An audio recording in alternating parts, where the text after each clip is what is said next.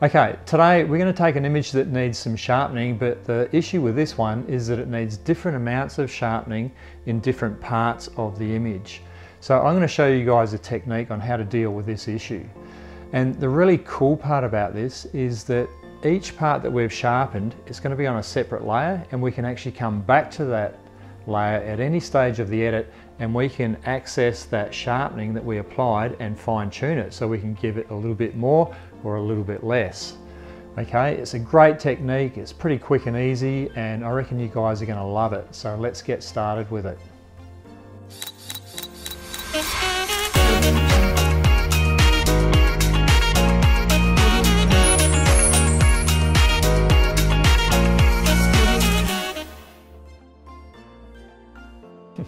Hey guys, I'm Dean. How you going? Thanks for dropping by to watch this video.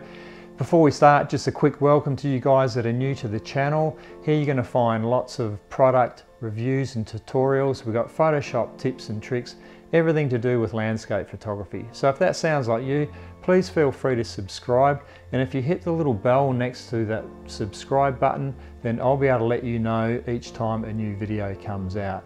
Okay, let's get going with this tutorial and today I want to show you how to add selective sharpening to an image in Photoshop. Righto, so this image here is a perfect example of one that needs selective sharpening because I've identified three different areas here and each one needs a different amount of sharpening. So let me just quickly show you that. Just zoom in here so look, this foreground's pretty good. I'm pretty happy with that. So I would only like to apply a very small amount of sharpening in here.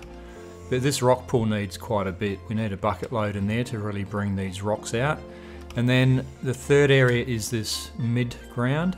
So this needs a little bit of sharpening, uh, but not too much.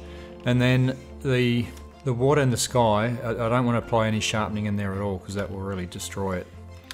So let me run through and just show you how to do this. So you've basically got to create a new layer for each different sharpening um, area that you're going to work on. So let's just start by doing that. So Command J creates a new copy layer. So we're going to apply a high pass filter to this and we're also going to make this layer a smart object. What that will allow us to do is to re-access the high pass filter to change its value. Now because we're going to use a high pass filter we're best to um, turn this layer to black and white so a quick way of doing that is just command shift U so let's change that to black and white. Let's turn this layer now into a smart object so we come up to layers, smart objects, convert to smart object. Okay, this will take a couple of seconds.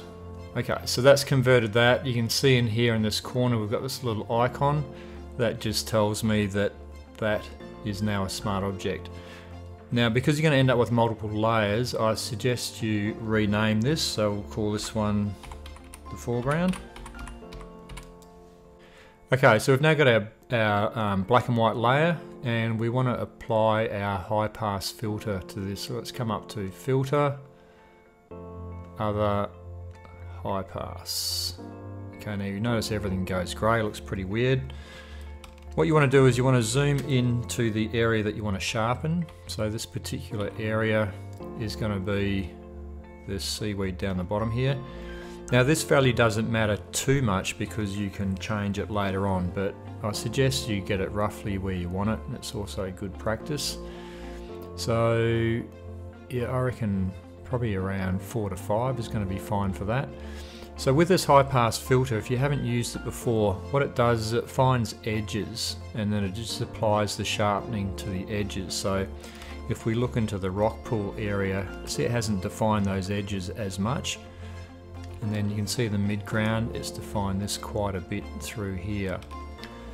So as I bring this back, you'll find those edges start to disappear and soften off. And as I increase it, if I bring it up to 30 or 40, like you see these rocks in here now really stand out.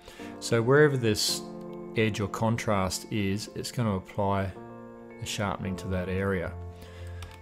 So let's go back to our foreground and we want around about four or five. That's going to be fine. So hit OK. Now we need to change the blend mode of this layer to overlay or soft light. Okay, I prefer soft light. I find it's just a little bit more subtle. And you'll see now we've lost that grey looking layer and it's gone back to how it should look. So that is now applied sharpening to the whole complete layer. If I turn that on and off, hopefully you can see changes there. It's only fairly subtle, but we only wanted it subtle in that area. Now, this is fine and dandy, but the problem is we only wanted it to be in this one little area down here. So we now need to apply a mask to this layer and paint back in the area that we want to allow the sharpening to flow through. So come down here in your layers palette, this little icon here, click on it and it'll bring up a mask in here. Now the mask will default to white, so that is basically clear, allowing everything to see through and it's not actually really a mask, it's not masking anything off at this stage. So let's go Command I to invert that and that'll now change that to black and now we can't see through this layer because we have completely masked it off with this black um, paint here in the mask. So what we want to do is paint into here with a white brush. So just select B for brush. Now if you go to your tools, if you haven't used the brush tool before, I, I suggest you click on it and make sure it's on brush tool and not pencil tool because pencil tool doesn't have any softening. Now just select the brush size. You can use your brackets on the keyboard to make it bigger or smaller or you can come up here and just select a size here. You want a soft edge brush. Okay, so let me move that out of the way. And now if we come up to the brush toolbar along the top here, we can change the opacity of this brush with the opacity and the flow. Okay, so if you want to feather some sharpening in, you would soften it off. If you want to apply the full amount, then just keep it fairly strong. Look, I'm going to keep it fairly strong just to make this a bit quicker and easier so you can see what's happening. So then all I do is I just paint in here with a white brush. Okay, and you can see if we go back to that mask, you can see the white area now that's painted in. That will now let us see through this layer and we can see through to the sharpening underneath. Okay, if I now turn that layer on and off, we can see our sharpening and it's only in the area that we want it. If I come up into the rock pool area and turn this layer on and off, you won't see any difference at all because it's completely masked off. Okay, so that's basically how we work on a small selective area. Now, the beauty of doing it this way and creating this smart object is that now the high pass filter, I can still access that.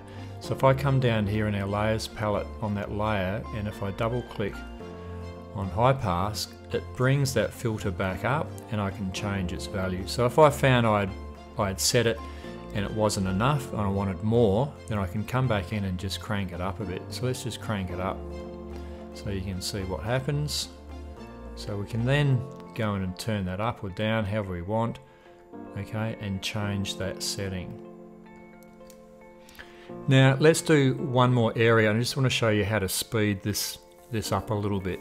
So what I've done is I've created an action for creating this whole layer and I suggest if you want to use this technique then create that action. It's two, twofold, it'll make things a lot quicker and you don't have to remember every single step okay because it's a little bit to remember all of this stuff but if it's recorded in an action then it's there to use and save you lots of time.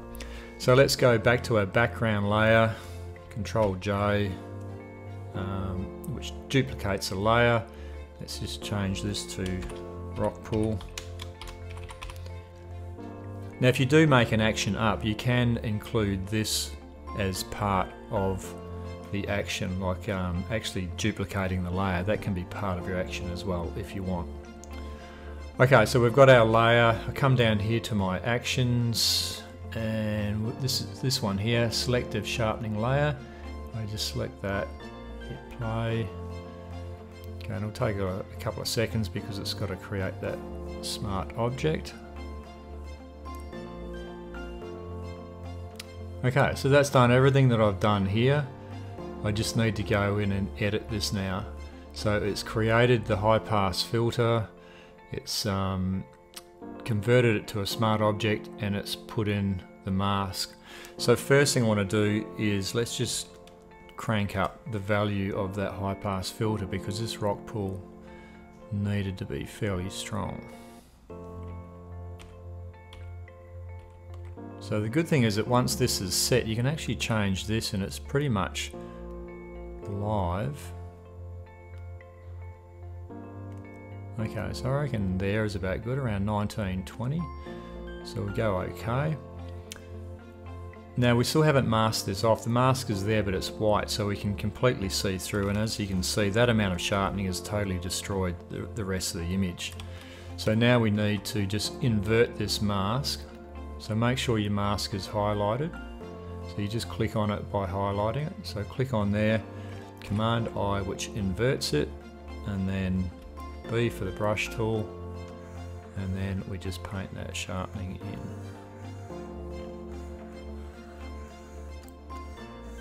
There you go. Now when we turn that layer on and off, we only have that sharpening in that one area. So as you can see by creating that action, that really speeds up this process. Now, if you don't know how to record an action of um, I've got a YouTube video on that, so jump on that and have a look at that one. So with, with this particular image, I would make one more layer and I would do the same process for this mid-ground here. So there you go folks, this technique allows you to add sharpening selectively to different areas. And remember, because it is a smart object, you can go back into that high pass filter and make adjustments at any time. Also remember with any sharpening, keep it subtle and don't overdo it. Now let me know in a comment below if you think you can use this in your workflow, I'd really love to know. And also leave us a comment if you have another way of sharpening that you would like to share with everyone. Many thanks guys for watching, have a great day and ciao.